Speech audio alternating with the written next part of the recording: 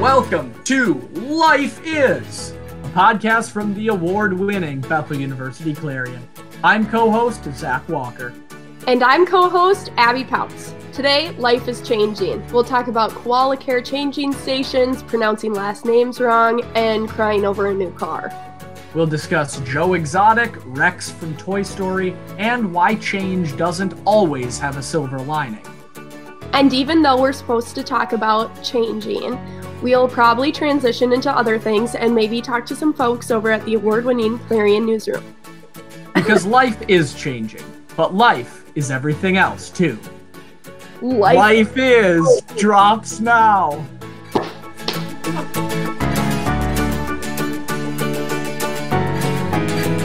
Okay, Abby. So life is changing. Um, so you know those changing tables in like gas station bathrooms or like any stalls for babies? Okay, yeah. They have koalas on them, right? Because it's like koala care. Why why is it koalas? Why is that the one they chose? And and what should it be? Because one, koalas, they're not a good animal. They're like cute and that's all they have for them, but they're like they sleep all day they also like always have sexually transmitted diseases. Like oh, koalas oh, have have those all the time. Look it up, and they're they're bad. Koalas are bad. Koalas are very cute. I well, think maybe because they like have a little body like a baby. Like you can put a koala on here, you can put your baby on here. like, that's if true. A giraffe, like that would not make any sense you know? Because because you wouldn't be able to place a baby giraffe on on there. Well maybe you couldn't.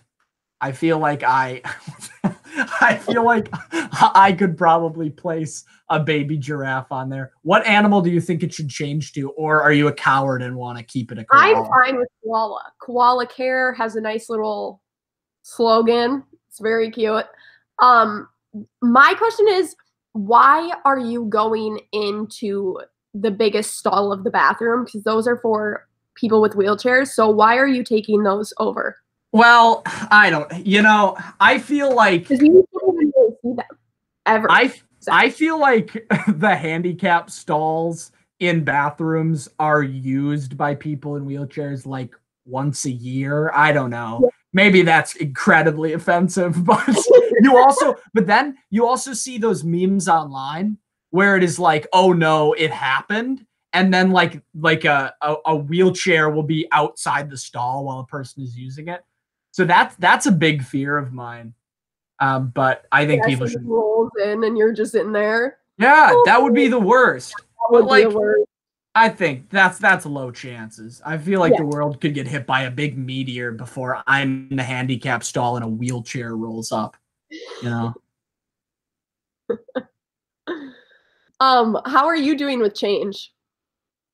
How am I doing with change? All right, yeah, very different from the very different from the koala question. I'm sorry. I've mostly been focusing on uh, on the um, on my koala thoughts during yeah. this break. How am I doing with change? I'm doing all right. Um, I I'm very grateful that I'm I'm at home and it's safe and I'm healthy and my family is healthy and I can still study and I can still write for the Clarion. Um, so that's pretty awesome.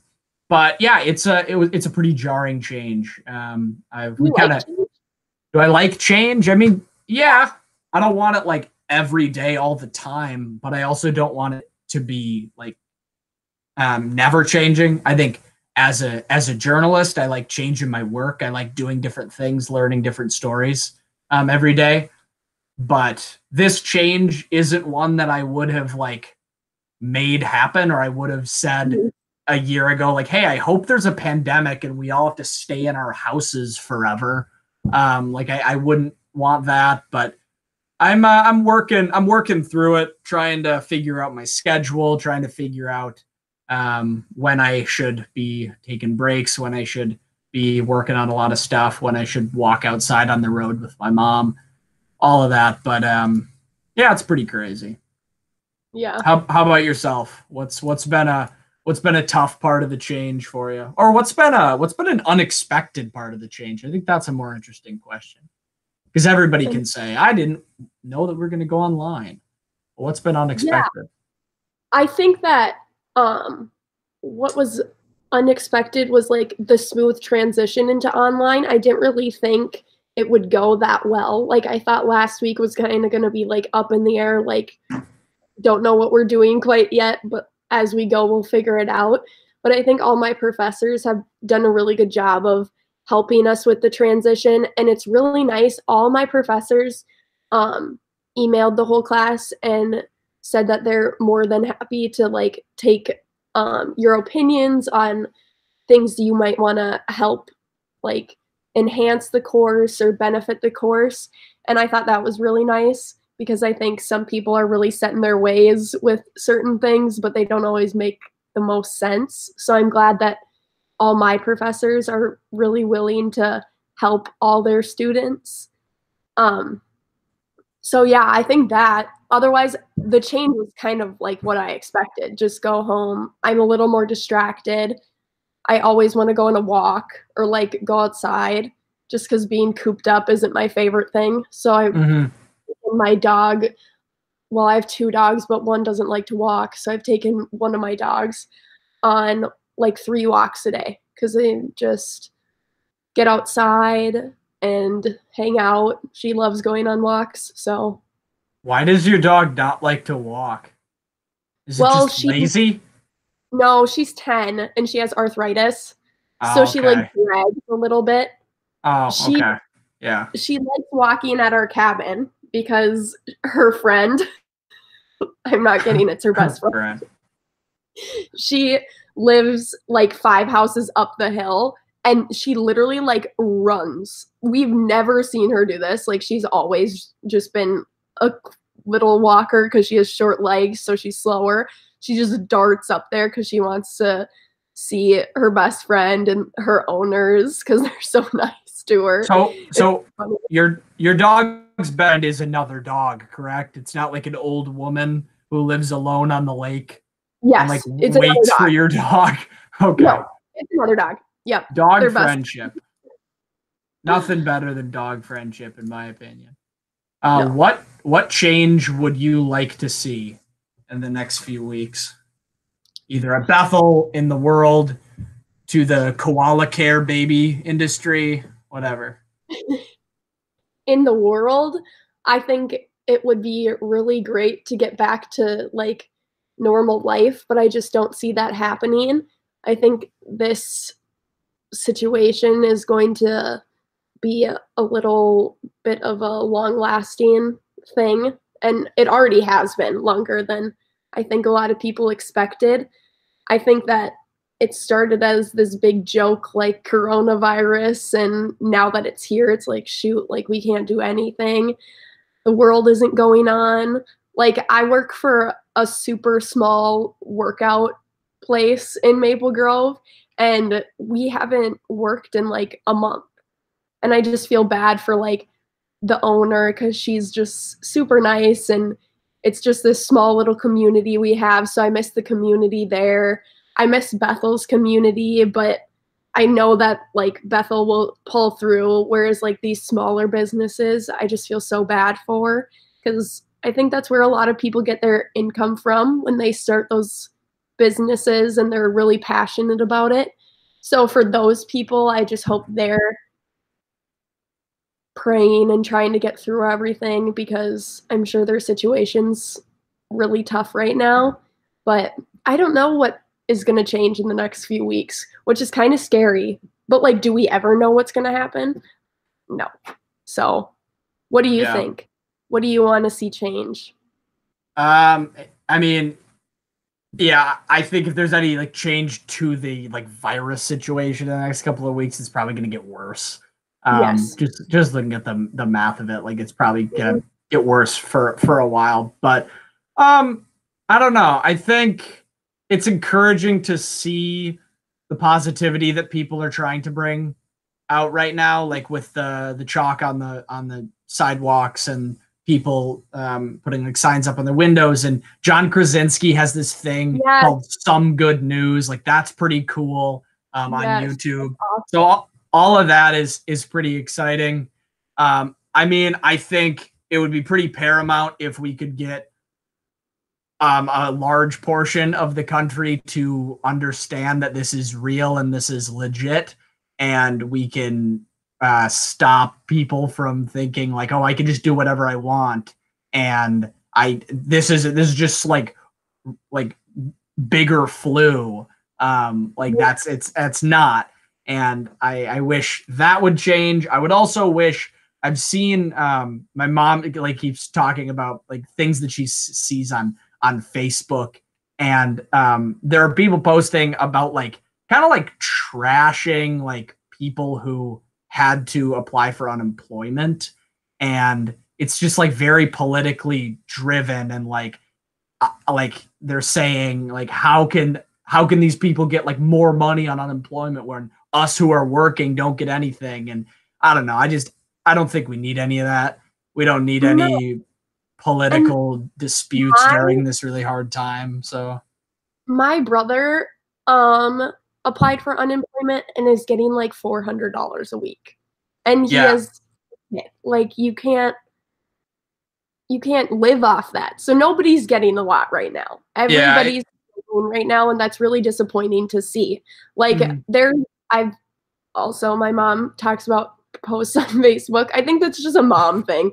Just it like really sitting, is updates you like, hey, look at this. Like, did yeah. you see what look at what from- look at what Marsha posted? Yeah, like it's just silly. But like my neighbors are like in their 80s and their um, grandkids came over because they can't see them and just put little cute signs all over their door and it's mm. just like the cutest thing to see. So I wish people would be more positive about everything going on instead of doing that because that doesn't make any sense because there's enough negativity going on right now. Mm-hmm. So, yeah, that kind of stuff. That kind of stuff gives you hope with the grandkids yeah. and the grand. Yeah. yeah, we can get through it.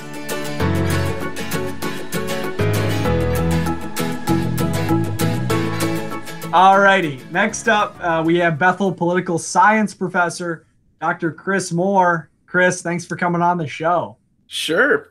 It was I felt like I had someplace I needed to go. It was great. Exactly. Um, tell us about your fun background with all of the stuffed animals. Are those all yours, I assume? Yes, I have an enormous stuffed animal collection. No, what I have is two kids. I've got a seven-year-old and a five-year-old. And when I told them I was going to be using um, our guest bedroom as the sort of our base of operations for um, Google Hangouts with students and doing online class prep and those sorts of things, they decided I needed a more fun background. So I've got a little pile of stuffed animals here on the bed behind me. And uh, Tommy added Rex from Toy Story, oh, uh, yeah. uh, which I actually think is really appropriate because I don't know if like he, he talks, this dinosaur talks, but he says things that are like really appropriate for academics. He says things like, "Great, now I have guilt." Um, and, he, and he says, I, I was trying to come across as fierce, but I think it's just annoying. And that really speaks to me at a deep level. That, like, the actual toy speaks? Yes. You want to hear it? Yes, I do. I can't guarantee what it's going to say. I am the dominant predator. that is awesome. Yeah. So that's he'd have to be my favorite character. Rex well, is your favorite character from Toy Story? He's the funniest. He's definitely the most neurotic, right? Yeah. Yeah. Yeah. I think he's funny. He's pretty good. Do the other do the other stuffed animals have names? Um, a couple of them do. The purple uh, elephant that you can see over my shoulder is Lavender. Ooh. Named by my daughter, not me. That's, that's a, a that's a very nice name. Yeah. Um. So, Chris, other than playing with the Rex toy, um, what what does a day look like for you now that you're quarantined at home? Well, okay, so um, my wife and I are both teachers. My wife teaches third grade, and my daughter's in first grade. Tommy's kind of off the hook. Tommy was in his last uh, couple months at the CDC at Bethel, and that just ended abruptly, like everything else did. So he's just our sort of free radical, sowing chaos where he goes. Uh, but the rest of us are all trying to do online school of some kind. Uh, so my daughter, right now, I'm talking to you, is doing a math lesson online, and my wife is planning online lessons and communicating with her third grade students. So w- what we're really fighting over, frankly, is bandwidth. Uh, so we have a dry erase board downstairs where we basically say who gets to be in video chats at any given time during the day. Uh, because if all three of us jump on at the same time, um, it crashes our Wi-Fi.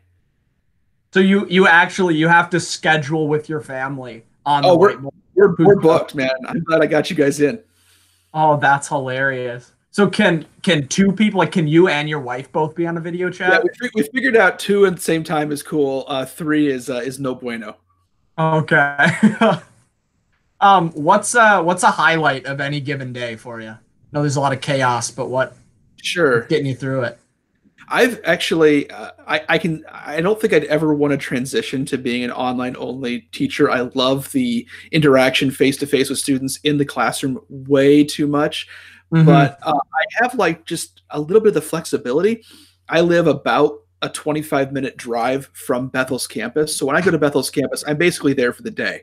And then I go home in the evenings and hang out with my family. But here I get those like punctuated moments of time uh, throughout the day where I can sort of check into my daughter, hang out with my son. Uh, he and I built a, a marble relay, kind of marble race kind of thing yesterday, and just kind of did that in the middle of the day, and then went back to some other stuff we were doing. So I wouldn't get that normally, and that's been kind of sweet. I think Yeah. that people um, have loved that. The commute to Bethel or just driving to work has been something people have noticed like they are not missing at all and they're loving having the small interactions at home and not needing to drive anywhere or like you have more time. So I think There that's is a positive thing we can see from this change is no driving. Yeah, there is a downside to it though, right? Because for on sure. the other hand, I when I'm at Bethel, I'm all I'm all work, and then when I go home, I say, okay, from now until the kids go to bed, I, I'm just focused on that. Now I just kind of feel like there's always this nagging thing hanging over my head of I should be sending that next email, in that next post on Moodle. I should be doing that next Yeah. thing, and I never quite get rid of that. I haven't figured out how to make that sort of on off switch yet. Mhm. Yeah, I agree with that. I think there's I've had trouble over the the first week. Like I've had all these things to do, and I found myself just with a, with a chunk of time, and then I'm just like, okay, I guess I'll work an hour on this piece of homework, and then like do this thing for the Clarion and do this thing, and I feel like I'm working way longer days than what I usually work at Mhm. school, and I don't have choir, I don't have like Clarion meetings all the time, um, but I like this week. I've I'm trying to block out like every hour of my day, which I usually don't do because I feel like it's unhealthy to block out like lunch and breaks and like things that you should just figure out. But that's what I'm trying to do. Um, Chris, how You sound like you? so, you sound like somebody who tutors for the Ask Office. Is what you sound like. Big thumbs up for the producer. yeah, exactly.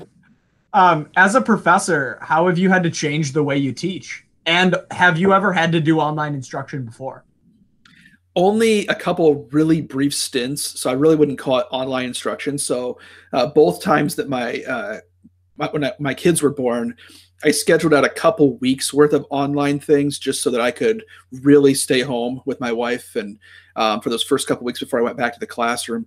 But no, this is the first extended period of time of online education, and I've got some some weird wrinkles this semester. Two of the classes I'm teaching, I've taught before, so it was mostly thinking about what do I do in those classes and how do I translate it to online. But the other class is a brand new class.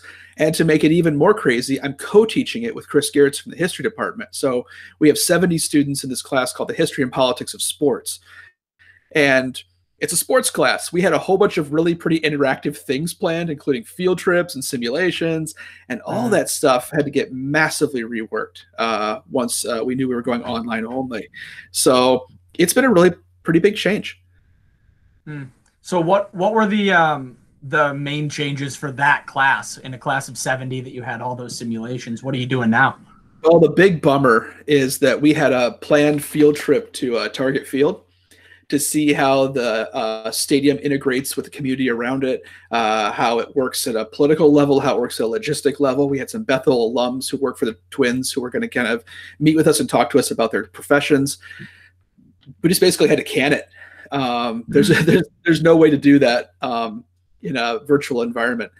uh, unless we got like a drone or something and flew it around Target Field or something like that.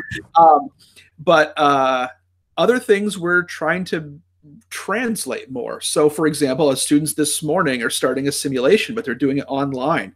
We have a couple. Diff- we have the class broken up into teams of seven, so it's ten teams. They're playing different roles in a public financing debate, determining whether or not cities are going to pay money to.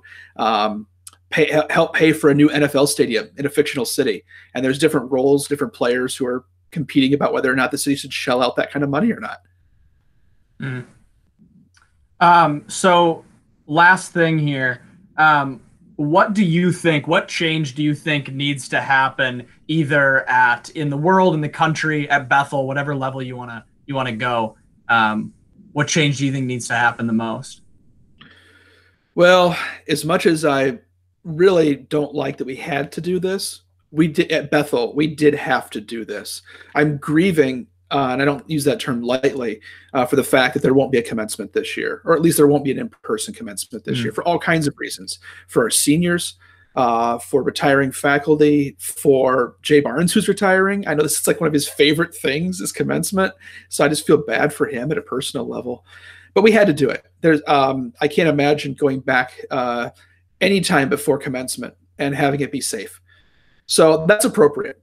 And honestly, what's been interesting, and um, I'm talking with a couple of my colleagues about this, but the different state responses. You know, 50 states in the United States, every state's governor and its legislature have a lot of control over public health in those states, oftentimes even more control than the federal government.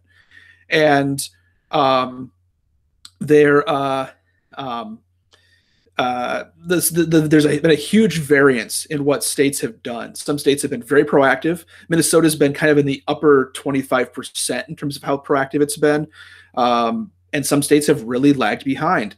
And this is going to be, sadly, kind of a natural experiment. We're going to see what those different policy choices do to the infection rates and, sadly, the death rates in those different city, states. Mm. Yeah. Thanks for the insight, Chris. Yeah. Um, so last thing, could you you you're a podcaster yourself? So can uh, you can I'm you part of the Sam of- Channel 3900 network? Yes. Okay, so so what just happened was our producer uh, sent me a chat that said have him plug his podcast. So I guess that was Sam just wanting his own podcast plug. now he's showing his shirt with Channel 3900 to the camera. Um, so Chris, what kind of podcasts uh, are so you, can people listen to you on? Sure. If you just search um, on line for Channel 3900. It's on Podbean. Um, I'm one of the hosts of a podcast called Election Shock Therapy. We've been doing it since 2016, and uh, we'll be running through um, uh, through this election and talking about polling data, talking about election returns, and all kinds of things leading up to uh, November 2016, uh, 20, 2020. Um, and I'm also with Chris Gehrz for that sports class. We do a sports and academics podcast uh, called the 252. Mm. How long have you been podcasting for Bethel? Ooh, um, not quite as long as as as and Mulberry and those guys, but probably at least five or six years. Five or six years. And how long have you been a prof at Bethel? Uh, this is uh, year twelve for me. Year twelve. Can't, can't. Yeah. Yeah. Um, so being a being a prof that's worked for for over over a decade for twelve years, what kind of like long term ramifications do you think the virus will have on Bethel? Ooh, that's a good question. I actually think this is I'm, I'm this is uh this comes not from any kind of um, academic evidence or any kind of scholarly evidence, but it's um, something that I comes from my sense of periodicity. Um, the the longer the effects of coronavirus go on, the more likely those effects are to be long term. If basically by the middle of the summer everything is quote unquote back to mostly normal. I don't mean the economy. We're headed for a pretty deep recession, and that could last a year or more.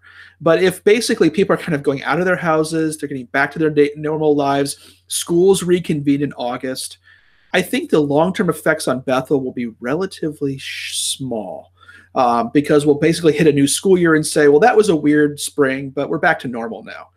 But if we have to start the school year with some kind of online education with sort of hopes of like, well, maybe we'll be in the classroom by November or something like that, I think the ramifications will be enormous and mostly detrimental. Mm. So what what do you think one of those detrimental ramifications could be? I mean, to be to be dire, if you're thinking about the incoming freshman class who has not a lot of deep emotional investment with Bethel, why would they come and start online school at a school that charges Bethel's tuition prices? Why wouldn't they just take community college classes for a year, a semester, or a year, and wait and see mm-hmm. how things pan out?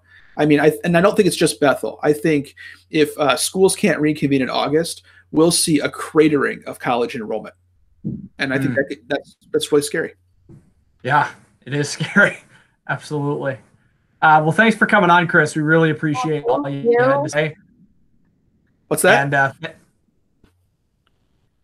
Abby said something. I think she probably said thank you. Yes. She made for this Sorry. wonderfully awkward exit. um, but thank you for coming on and thank you for uh, sharing sharing with us Rex and all the other stuffed animals. You're absolutely welcome. Thank Thanks you. for the podcast, folks.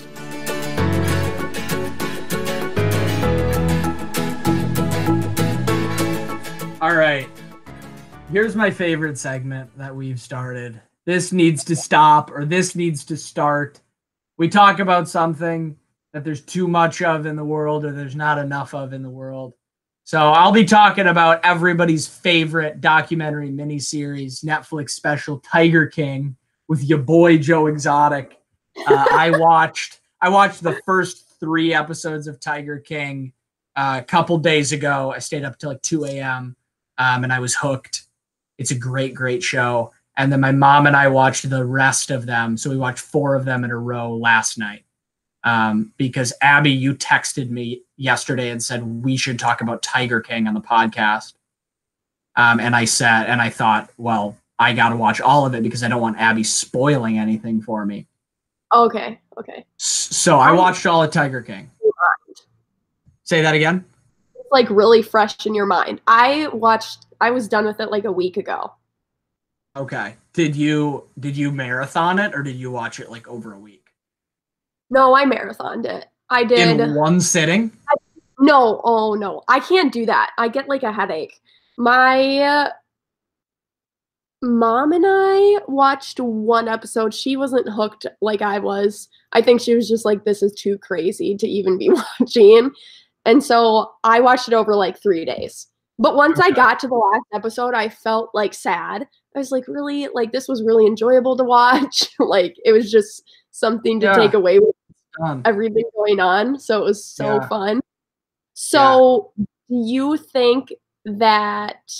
Oh, well, her- first, first, oh, okay. first thing, I want to give a spoiler warning to anyone listening to this podcast who oh, hasn't seen Tiger King, because no. so if you if you have not seen it, skip this segment and go to the next one.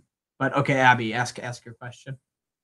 Do you think that um she killed her husband? Carole? Yeah, Carole cool Baskin. Cat. Hey there, all you cool cats and kittens. It's Carole Baskin from Big Cat Rescue. Um, yeah, absolutely. She totally killed her husband. Carole is Carole is cold. I, Carole is calculated. Carole yes. is high off of greed and high off of people thinking that she's a saint and that she's saving yes. cats, which, given she's doing a better job than Joe, not as good of a job as Doc with like how they care for the cats. Although Doc like kills his cats, I think. So that's wow. like pretty bad. And Doc is the worst person ever. Um, but Carole yeah. do- Carole doesn't breed cats, so like that is her one merit. Um, yeah. But oh yeah, Carole absolutely. She either killed her husband, she either like like has him locked up in some underground cage or something crazy. Because I think the tell was when they they have the footage or they have they figured out that she broke into the office and then mm-hmm. rewrote mm-hmm. his will and said upon my disappearance Yes. And it's like it's not odd. Like it how, is odd. When investigating that, are you not like this is not a good sign, right? I think they're reopening up the case. I really? read that. Yeah, I read that somewhere. And that I also heard that her husband before that had a restraining order against her. I bet. So I, mean, I don't understand why that's a thing. Also, hearing from his kids was really like this show, although it's super crazy and just insane, it was really sad in some aspects. Me, for the animals wise, I just is terrible to see. But Mm, seeing, like his kids talk about um Carole and him being afraid of Carole was really sad. yeah. No, it's um. I mean, it's a crazy show, and like I've heard Yeah. people say that like, oh, it just seems like a like a reality show, or they No. don't like it because it's too crazy. But like, I think it is brilliantly reported. I think it like the the team spent so long reporting this and followed Mm-hmm. like all these crazy rabbit trails really well, and the way that the documentary is made is so interesting and so perfectly honest about all the characters. One of my Yes. favorite edits in the whole thing um, is with Doc Antle, my least favorite man on the entire planet. Um, he's the worst. um, Doc, well, I love that they show Doc like trying to direct the documentary and Yeah. saying like, "Hey, you should come up uh, to my door," and then I'll say, "Hey, how's it Yeah. going?" And then they show that, and then they show him like acting. But my favorite, my favorite edit in the whole show is when um, the reality TV producer, the guy that kind of talks like this, and he he Yep. sits and smokes, and he goes, Yep. "There's there's something, there's really something, uh, something crazy that gives." Uh, when you hold these big cats, it's just a feeling of power that you get. And then they cut immediately to Doc riding an elephant through his neighborhood. And it's just, it's prime. It's so perfect. It really exposes everyone. But um, Tiger King is is a gift to humanity. It's great. But uh, quickly, what I think needs to start for the segment is not Tiger King 2. It's not a new series. It's not Tiger King. One more episode. I read that another one. one more episode. Oh, that's pretty interesting. Yes. So okay. that's cool. I don't need more TV shows. I don't need a Tiger King movie. I've heard a lot of people call for that. Yeah. Um, and I think yeah, it'd be cool. I'd go see it. It, it would star Michael Keaton, hopefully, because Yeah. he looks just like Joe Exotic. Shout out to Yeah. my boy Mark Ives for pointing that out to me. Um, but what I want to see is Tiger King the musical. I want to see Joe Exotic and Doc Antle and that like fat strip club owner at the end on the on the Broadway stage with huge tiger animatronics. You got the lights. You got Joe singing a ballad about his sob story past. You got he Doc. singer. So Oh yeah, It of course he is. Yeah, it's not lip synced at all. He's he's the best singer. You got Yes. Doc is like get getting the getting the villain song. Tiger King the music the musical is what we need. That is what needs to start. We don't need the movie. Because imagine that'd be the best musical ever. Everybody It would go see it. if but I think not with the actual people, with like some actual talented people. I think that would actually be an interesting storyline. It's insane. Like it's a my story. texted and they were like, "Who's watched Tiger King?" And I was like, "I have." Blah blah blah. And they were like, "Is it good?" And I'm like, "I don't know if it's like good, scary, or really bad, but like it's just insane. You don't expect any of it. Like from what I saw on the little preview on Netflix to the whole series, I was like, this was insane. I did not expect any of this, but I could not stop watching.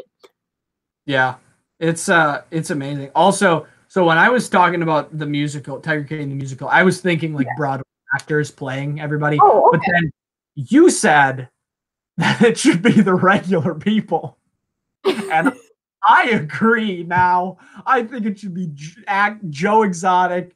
I think it should be Doc. I think get it should him be that that guy that like has a has a monkey son that is always like brand new teeth. Yeah, guy who that had guy. no teeth and Yeah. now he's got new ones. Yeah, you Yep. got you get all those guys on a Broadway stage. You give them money, they'll do anything for money. Yep. We've seen that. Yes, Um, we you- have. You get Carole, you give her money, and then you like tell her that she's a good person, and then she's on. Oh my goodness, um, hilarious. You know who I think is probably the person with the most merit in the show because everybody's pretty horrible. And the Yeah. person that I just like kind of feel bad for is Howard Baskin, Yeah. Carole's husband. That guy, I mean, like I don't know, like he seems like he's really on Carole's side, and I feel like if you're on Carole's side, you have to be a little crazy. but is he crazy or is he like was he taken advantage of and brainwashed by this Yeah. manipulative witch woman, Carole? Yeah. Because like you can tell Howard Baskin was like not a cool kid in high school. and like and I I feel like he Ca- he found Carole and he like liked cats as well and he's like, "Oh my gosh, like it's, it's I have a wife now." And then I feel like Carole manipulated the heck out of that guy. Yeah. So I my my heart goes out to Howard. the only normal or like semi normal people in the show is the man that um is an amputee. He Mhm. Fell off the zip lining thing, which is like ironic. Yep. Um he is normal and also the woman who got her arm bit off by the tiger. I think she's pretty normal too. I think they're all just like they all need to make money and they know those two know like oh these probably aren't the best people but this is what I have to do right now. I thought those two were the most normal. They also weren't shown a lot, which I think is a great job by the people who produced the film because showing Joe Exotic is just pure gold. He's just Yeah. insane. The clips from his YouTube videos are like, it's just great. It was a great show. It was a great show. So everybody, go watch Tiger King. Um, go talk about Tiger King and um, donate to my Kickstarter for Tiger King the musical.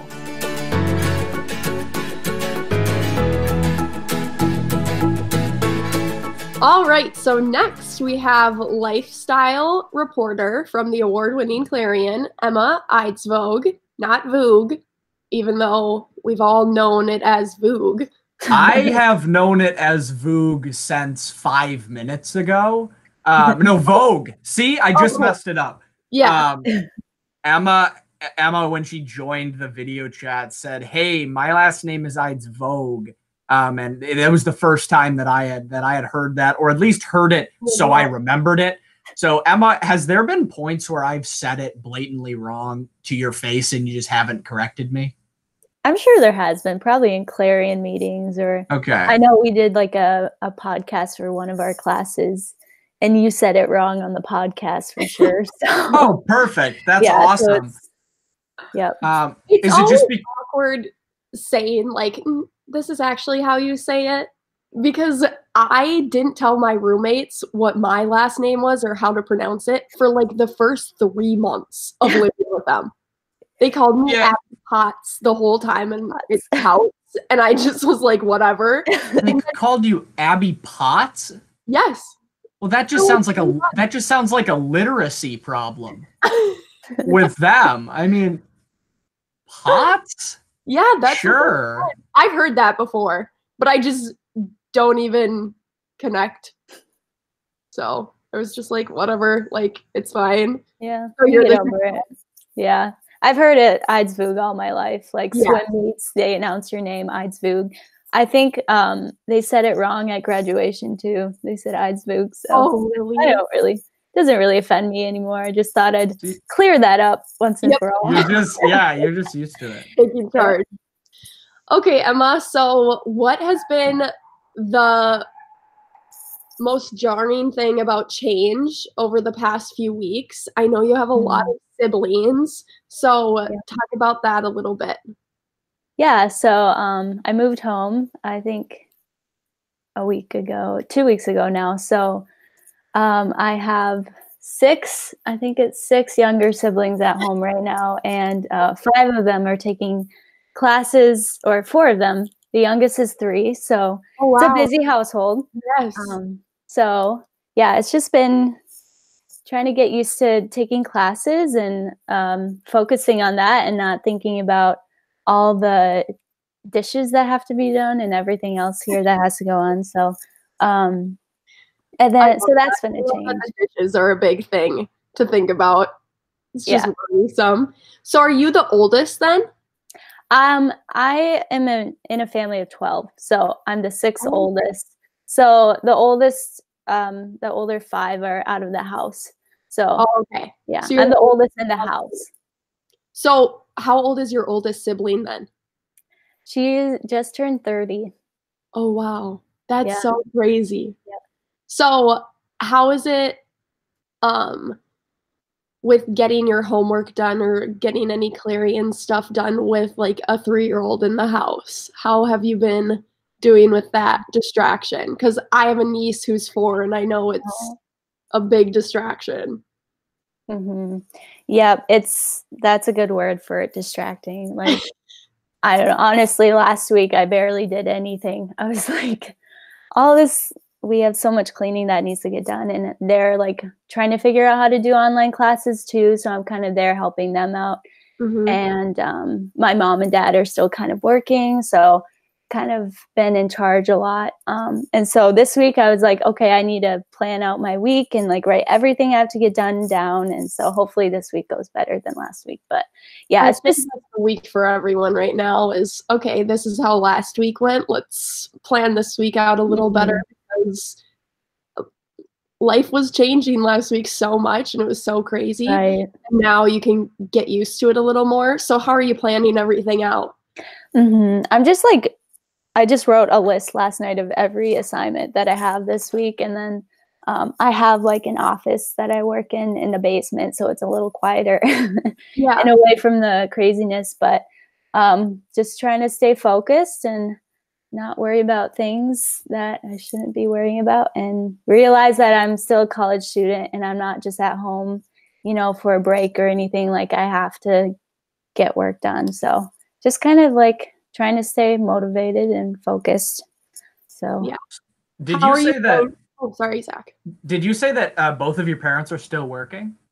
yeah. So uh, my mom's been doing like a couple odd jobs. Um, she used to drive uh, a van for the school, so she's not doing that. But um, and then my dad, he delivers coach buses like throughout the country.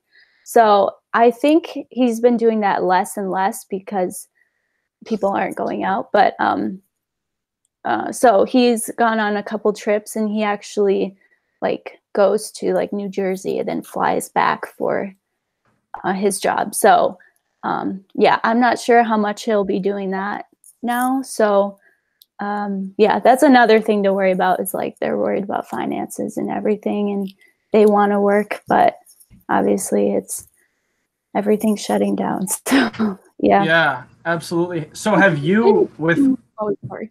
with with both of your parents sometimes out of the house, have you had to take on like part of the parenting role with your younger Mhm. siblings? Yep, some days, yep, I have to do that. Like, um, there's not much, like, I don't have to facilitate everything, but make sure they're not fighting. They like to fight with each other and yell and all that. So it's just kind of like, yeah, being that parent, making sure they're eating their food, cleaning up after themselves. Kind of been doing it like for a while now because we started foster care in 2011. So that's kind of been my role for a while now. So, um, but yeah, so there's that kind of tension of like wanting to be a parent and help out and like be there for them. But then I also have to like do my classes and do different things. So there's that tension there. Kind of Yeah. like what uh, Chris Moore was talking about that nagging feeling. Like I definitely feel that like all day, like wanting to be with them and like, yeah. So just something to get used to, I guess. I'm sure everyone is feeling that right now. Like stuff at home, family drama, stuff that like we could get away from being at Bethel, but now it's like we're in the center of it and it's just gonna take some getting used to. But yeah. Yeah. Um, how has so now that you're you're studying at home full time, you're a full time student, um, but you also have to take on that parenting role and you have that that nagging feeling. How has um, the transition from Bethel to online affected the way you're able to interact with your siblings and the way you're able to take on that that almost parent role Mm-hmm.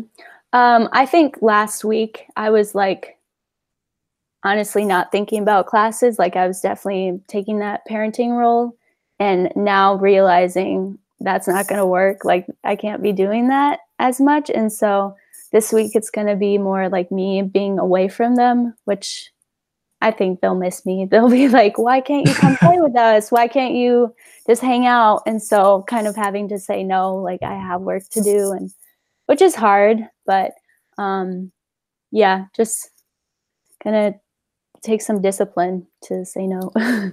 yeah but all right um, anything that uh, we can people can look out for on the clarion website that's coming out of yours this week yeah, of course. Uh, I am working on a profile story on Kuge um, Nape, I think is how you say her last name. She led the Thailand mission trip last winter, and um, I'm just gonna share her story. She has a I had a really great time there, and um, she's from Thailand originally, so um, just a really cool story of her returning home and everything, and leading a mission trip. So that should be out on Wednesday, I believe.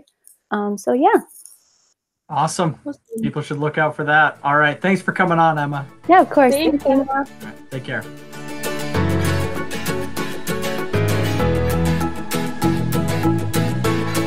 Okay, Zach. So life is changing. That's the bet it theme. What's tell me about the hardest change you've made? Like, do you remember a change where you just had a breakdown? Like my sister, when we were probably like I was six and she was four, just had a mental breakdown because we got a different car.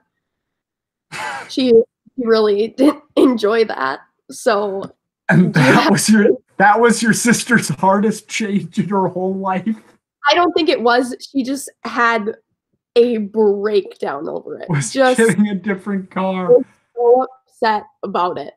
And Um, well, mine's not that, but like like a hard change like in, in my life or in.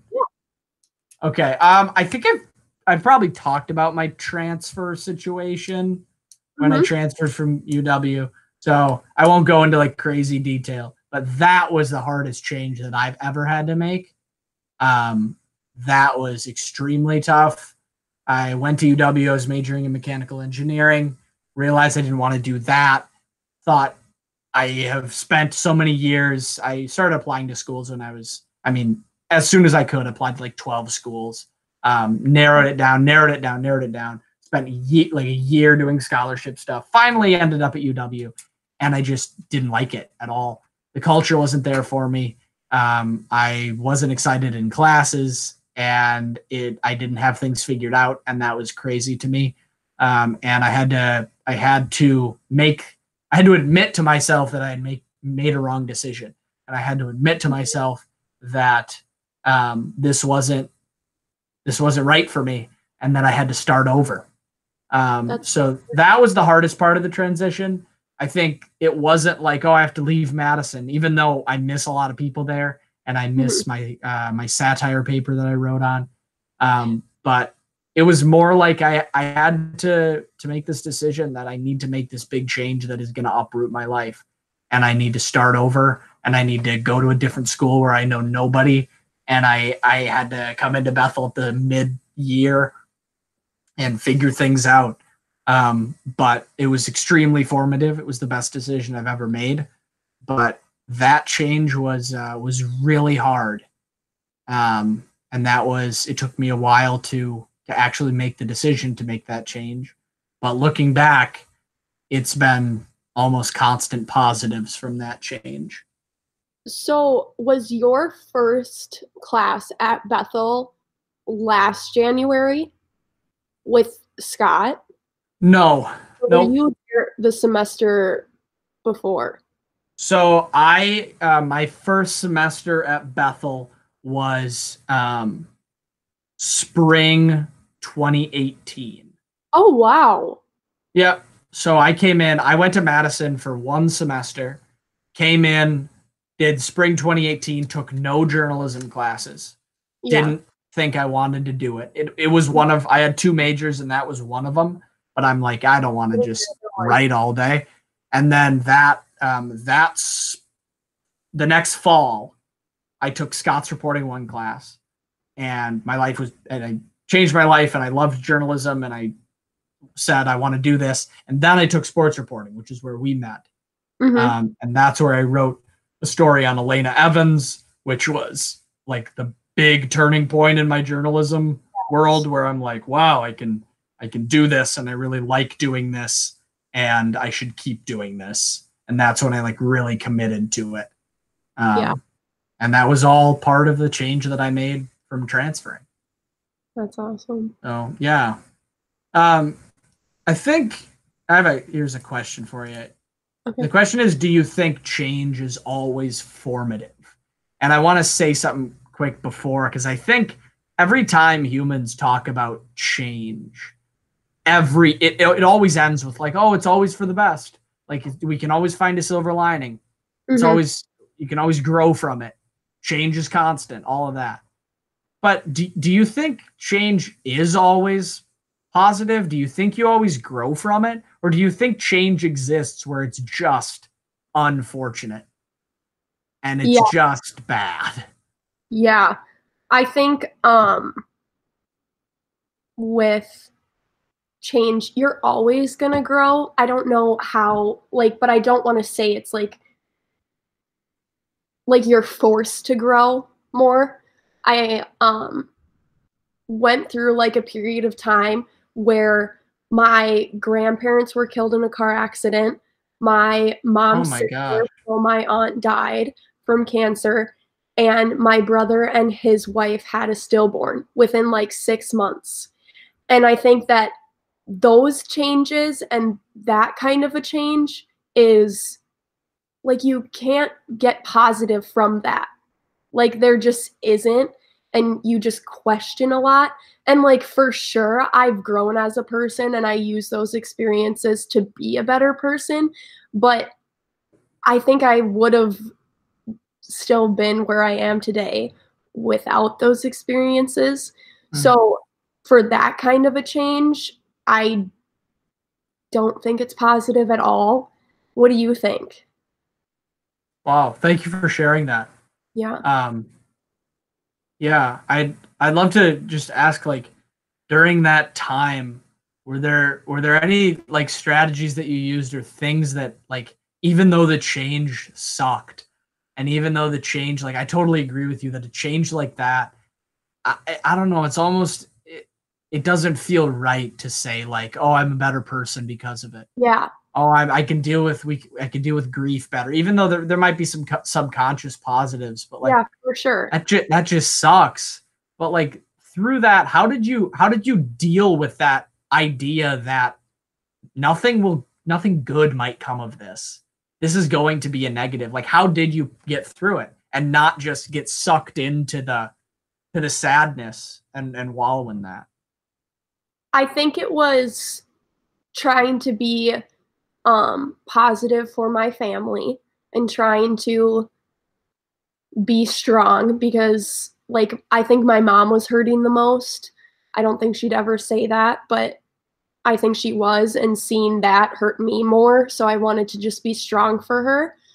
Um I really found like I don't like when people talk about this like when they find God because God's always there. But I Mhm. really did lean on God more and like understood like our relationship more because before I never wanted to participate in church or anything like that. It was just something like I went to. I never got a lot out of it compared to now where I get so much out of it and get so much out of learning about God. So I don't want to be like cliche, but I really like leaned on God during that time because there just wasn't anyone else. Like it's hard to lean on family because they're hurting just as much as you, if not more. So I think that's what helped me, if I can even say mm-hmm. like helped. It just got me through it. So yeah yeah do you think do you think your faith is stronger Yeah. because of What happened? Yeah, and I don't like to say that because again, it's like those Yeah. positive things shouldn't come from things that hurtful to you and your family. But I do think I just learned to trust God in a different way, but like I think for like no matter what, I'll always be upset that that happened and it happened like in that way in such a short amount of time where like it was just like God was kicking us when we were down. Like, oh, here's Mhm. another, here's another. It was just like you shouldn't have to attend that many funerals in that amount of time for people that are that close to you that you like plan the funeral.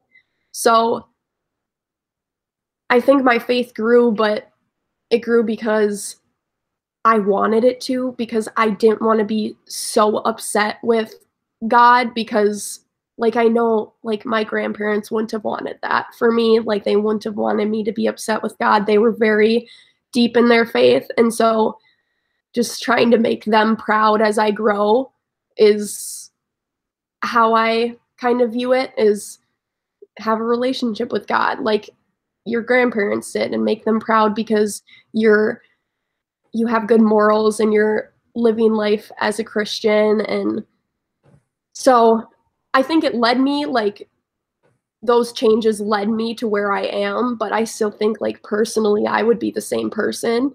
So change just sometimes sucks. You've been listening to Life Is, a podcast from the Clarion, Bethel University's national award winning student publication. We'd like to thank our producer, Sam Mulberry, and the future director of Broadway's Tiger King the Musical for listening to what people want. The Clarion still publishes stories every day online at bethelclarion.com. If you haven't already, go and check out Emma Eidsvud's profile and Kuge Nape.